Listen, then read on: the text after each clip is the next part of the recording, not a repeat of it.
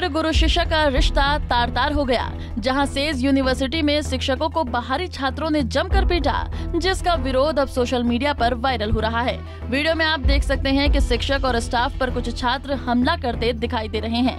वहीं इस घटना को लेकर सेज यूनिवर्सिटी के स्टाफ द्वारा तेजाजी नगर थाने पर न्याय की गुहार भी लगाई गई, जिसके बाद पुलिस द्वारा तुरंत कार्रवाई करते हुए बाहरी छात्र और अन्य के खिलाफ मामला दर्ज किया गया है।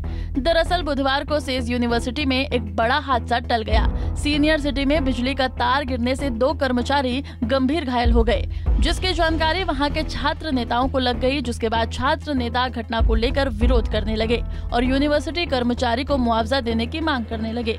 इस बीच गुरुवार की सुबह दोबारा छात्र नेता रवि चौधरी और कुणाल पटवारी छात्रों को लेकर यूनिवर्सिटी में दाखिल हुए और स्टाफ के साथ धक्का मुक्की शुरू कर दी। हालाँकि थाना प्रभारी आर डी कंदवा मौके पर मौजूद थे, जिसके चलते कोई बड़ी घटना नहीं हो सकी। और उनका कहना आए दिन इनके साथ अभद्रता बदतमीजी की जाती है और कॉलेज में कुछ वो लोग आते हैं जो कॉलेज में नहीं पढ़ते हैं और वो आकर यहाँ पर लगातार अभद्रता और बदतमीजी करते रहते हैं अनावश्यक कुछ मांगे करते रहते हैं।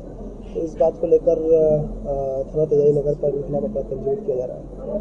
सर क्या जो बाहरी तत्व जो स्टूडेंट नहीं हुए कुछ कार्रवाई की जाएगी? पॉलिटिकल नहीं अपराध पंजीबद्ध किया जा रहा है और निश्चित रूप से उनके ऊपर कार्रवाई की जाएगी जो भी लोग इसमें इन्वॉल्व है। कितने बाहरी तत्व अभी ये लोग कॉलेज प्रशासन आया हुआ बातचीत चल रही है उनसे उनके आधार पर ही कार्रवाई की जाएगी। आज ये दो तीन जो बाहरी तत्व, रवि चौधरी, कुणाल पटवारी और बाकी नाम मुझे याद नहीं, बीस पच्चीस बाहरी व्यक्तियों के साथ आए थे संस्था में। और आके कुछ ज्ञापन देने की बात कर रहे थे फिर इन्होंने कहा कि डीन को बुलाइए, मैं डीन हूँ वहाँ पर। तो मुझसे कुछ जो बातें पूछी, मैंने उनका जवाब दिया।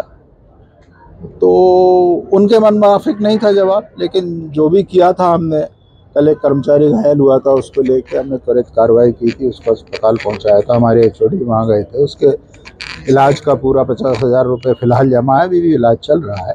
और हमारे सारे कर्मचारियों का ग्रुप मेडिक्लेम भी है। ये सब बातें उन्हें बताई तो उन्हें पची नहीं तो उनने मेरे ऊपर हमला करने की कोशिश की जुमा झटकी टीआई साहब मौके पे मौजूद थे, क्योंकि प्रदर्शन की सूचना थी। उनने बचाया, नहीं बचाया होता तो पता नहीं कौन सी घटना की पुनरावृत्ति होती। कल जो तार टूटे थे उसमें कर्मचारी घायल हुए थे तो उनका तार कोई नहीं टूटा है सर। तार बच्चे भी घायल हो सकते तार कोई नहीं टूटा है। स्थिति अभी भी वही है। आकाशीय बिजली है ऐसा प्रतीत होता है। तार तो कोई नहीं टूटा। तार टूटता तो उसके अवशेष भी दिखते ऐसा कुछ भी नहीं तो कल वाली घटना को लेकर सर ये रिएक्शन था। नहीं कल वाली घटना तो सेज विश्वविद्यालय के कर्मचारी के साथ हुई थी। ये तथाकथित छात्र नेता है, मुझे समझ नहीं आता इसमें क्या तारतम्य है। बता दें कि इस मामले में जो बाहर छात्र हैं, उन पर पहले भी आपराधिक मामले दर्ज हैं, खासकर कुणाल पटवारी, जो मध्य प्रदेश के कांग्रेसी वरिष्ठ नेता के रिश्तेदार बताए जा रहे हैं। अब देखना होगा कि पुलिस इस मामले पर क्या कार्रवाई करती है। पंजाब केसरी टीवी के लिए इंदौर से सचिन बहरानी की रिपोर्ट।